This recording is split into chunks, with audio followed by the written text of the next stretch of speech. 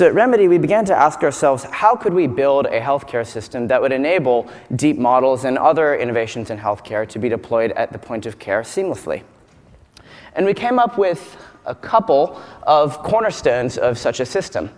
Um, first and foremost, whatever sort of deep model you want to deploy in this system should ideally be interpretable. Um, you know, you wouldn't necessarily trust a recommendation from a person if they couldn't explain why they made it, um, especially not in healthcare where decisions are life and death. Um, and the same thing should probably apply to any kind of computational model we have in healthcare. Um, moreover, we're going to need a lot of large, clean data sets to train these sorts of deep networks. Um, this is somewhat self-evident. Deep learning uh, methods are very data hungry. And if you don't have clean data, you're not going to get a good model. Um, and then on top of that, it should be pretty seamless and easy to actually deploy technology at the point of care. We don't want to have a long lead time between deploying a system, updating it, or even developing a new innovation in the lab and translating it to the point of care. So let's check in on the status quo of all of those thing, these things in the world as we see it today. Um, with regard to interpretable models, um, as I mentioned, it's uh, super important that uh, we have them.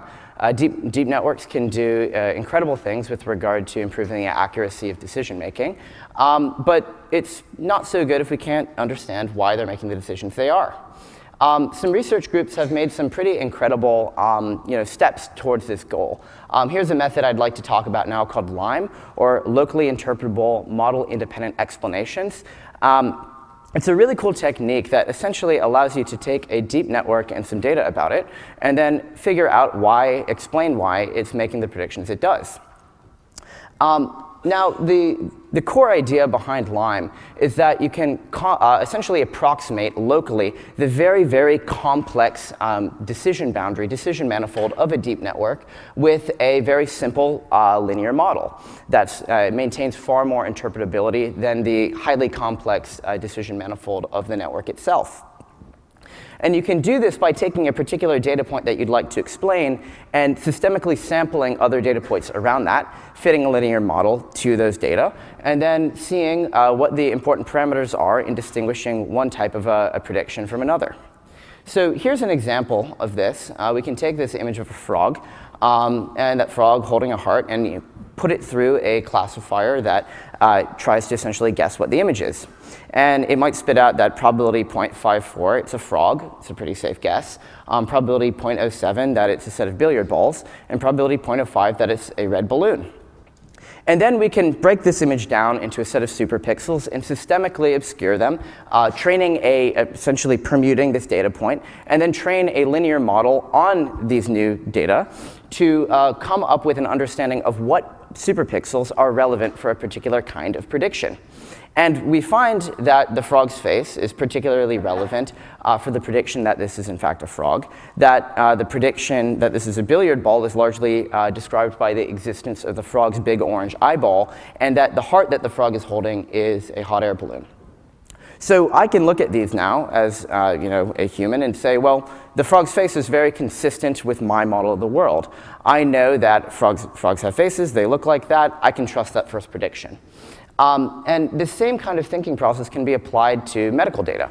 Um, it's, uh, it's pretty important that we understand how medical decisions are made, and um, this is highly portable uh, to that kind of a scenario.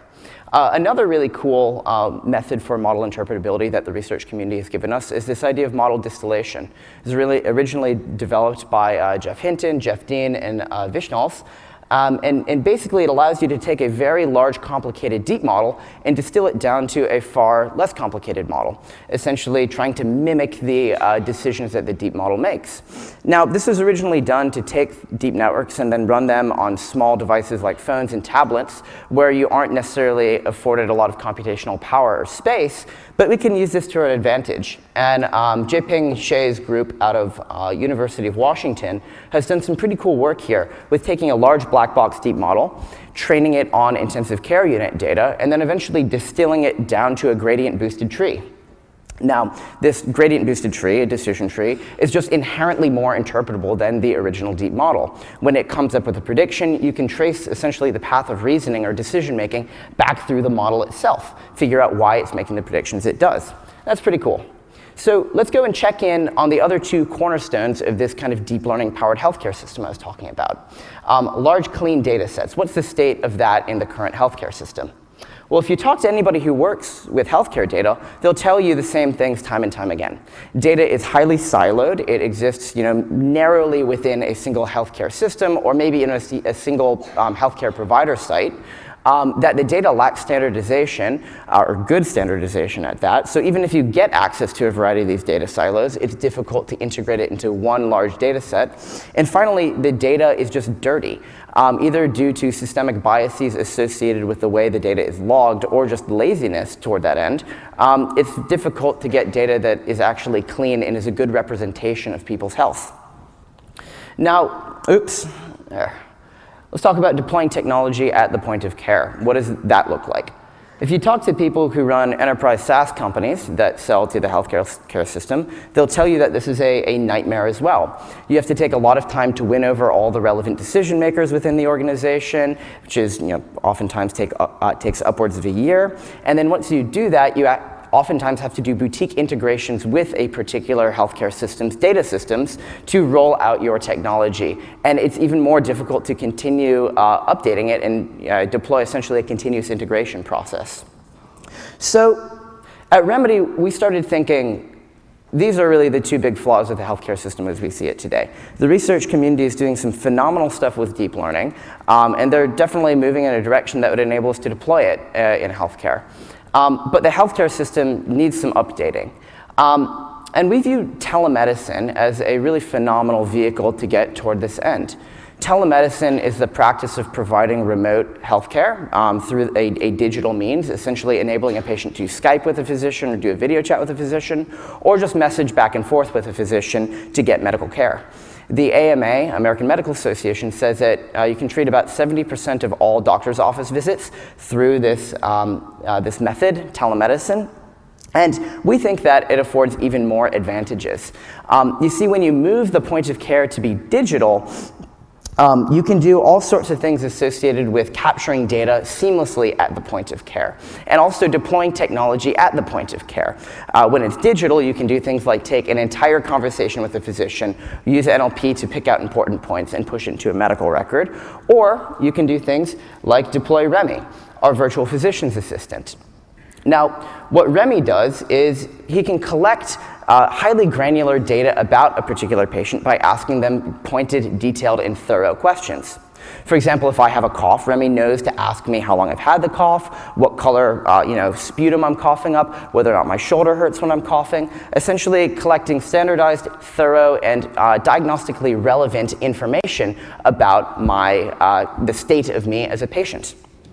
But Remy goes beyond that. Remy can capture information uh, in, in the intake, figuring out who I am, uh, figuring out my medical history. Remy can ask questions in the triage process and then eventually automatically follow up with me to get an idea of the outcome of the treatment that I had.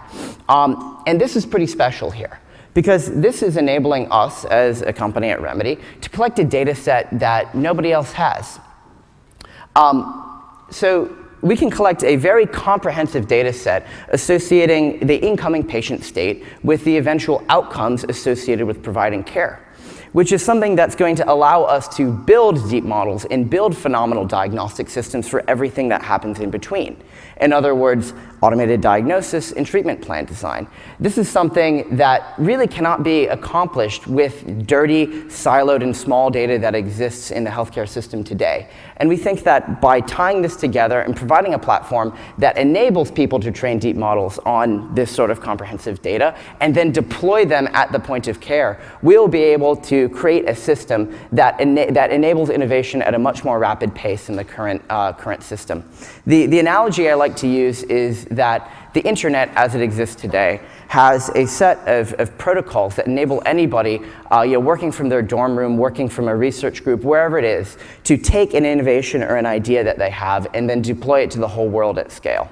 And we'd like to create a healthcare system where any researcher, anybody working on a better diagnostic process, can pass it through regulatory approval and then, with the push of a button, deploy it to um, care sites around the world at scale and provide good for everybody, uh, all patients out there, in incredibly rapidly. Um, so that's it for my talk. I'd love to field some questions and invite my co founder, Nikhil Buduma, up on stage. Thank you.